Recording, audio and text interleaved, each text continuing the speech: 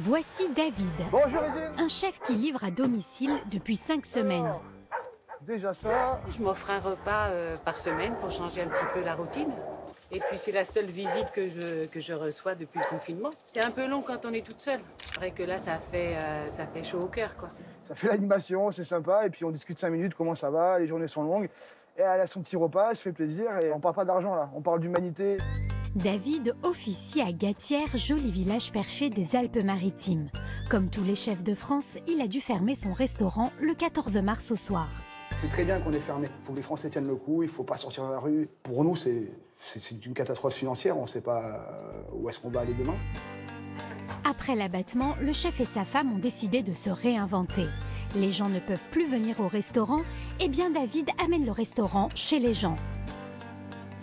En faisant des euh, jolis plats euh, traiteurs, voilà, des, barquettes, et en donnant du bonheur aux gens. On peut pas appeler ça du business, on peut appeler ça pour nous de la survie, et les gens, c'est un moment de partage. Dans cette période particulière, David profite tous les matins d'une immersion dans la nature. Nous sommes chez son producteur de légumes préféré, à 5 km à peine du restaurant. Faut se réveiller à la même heure que, que, les- que les paysans, parce que parce qu'il faut vivre ça avec eux. Là, c'est quand même un moment de partage avec eux. Là, c'est là, c'est un privilège d'être avec eux. Il y a encore euh, euh, l'humidité de, de- de- de- du matin qui est encore dessus, la rosée, euh, les petites gouttes qu'on voit de partout, la fleur qui est bien ouverte. On a vu des abeilles qui, qui pollinisent. Et là, c'est du bonheur. Ouais, on peut pas fermer. ça va, Jean? Oh la merenda, comment il va?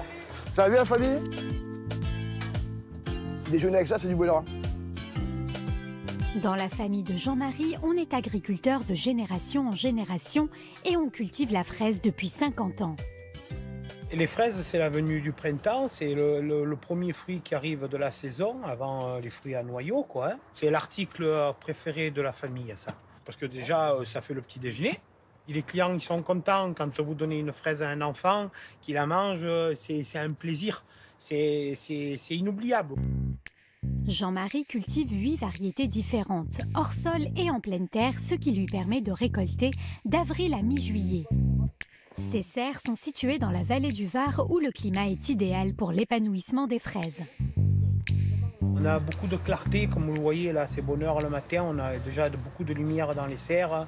On a la chaleur, on a l'exposition, on a du vent. Pour ça, je vous dis, on arrive à la faire en bio parce que justement, la fraise, elle est bien ventilée, elle bouge bien, elle est, elle est aérée. euh, C'est c'est un plaisir à travailler dans la marchandise comme ça.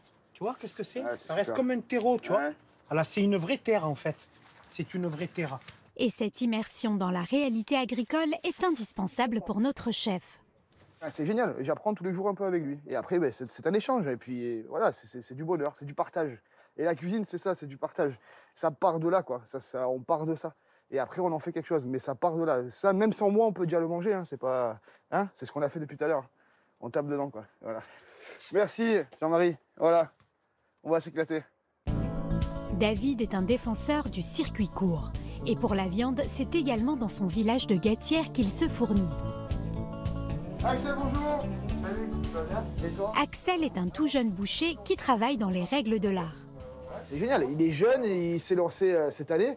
Et il, a avoir- il arrive à avoir que des produits euh, extraordinaires. Et surtout des produits français. Carré de veau, carré de cochon. Enfin, c'est des produits qu'on voit plus aujourd'hui en boucherie. Qui est des os, les gigots, c'est lui qui les fait.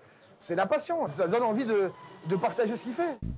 Le boucher a doublé son activité depuis le début du confinement. Il observe avec plaisir le retour des clients dans les petits commerces de village. Je suis en label, je suis en fermier, je suis euh, en circuit court. Je choisis toutes, euh, toutes mes bêtes en limousine, en port fermier, en agneau français de Castres. Et, euh, et ouais, je pense que c'est important et les gens, ils y retournent. Merci Axel.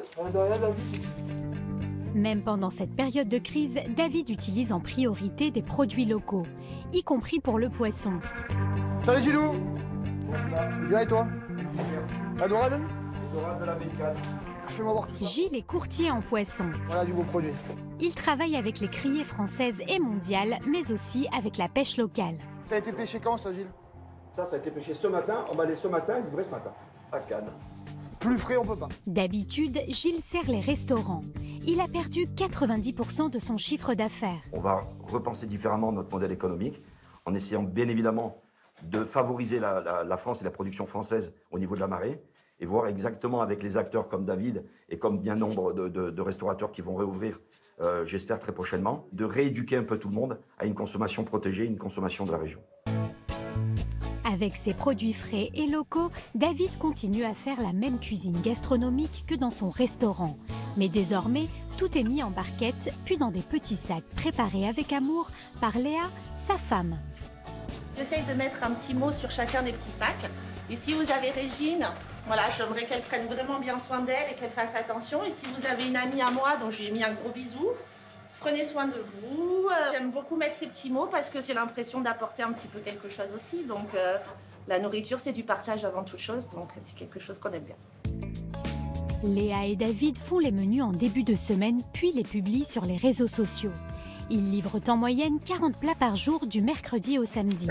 Mon cher David, quel Allez. plaisir que de te revoir. Bah, écoute, hein, on va pas au restaurant, le restaurant vient nous. C'est ça, exactement. Je t'ai mis un burger en plus, Sylvie. Merci. T'as la petite dorade fraîche que pêchée ce matin, les Ah oui, courgettes c'est taillées. Ça fait plaisir de voir la personne et le personnage, mais ça fait aussi surtout plaisir de, de voir quelqu'un de positif et qui nous amène du soleil par le biais de son talent culinaire. C'est beau ça, merci Sylvie.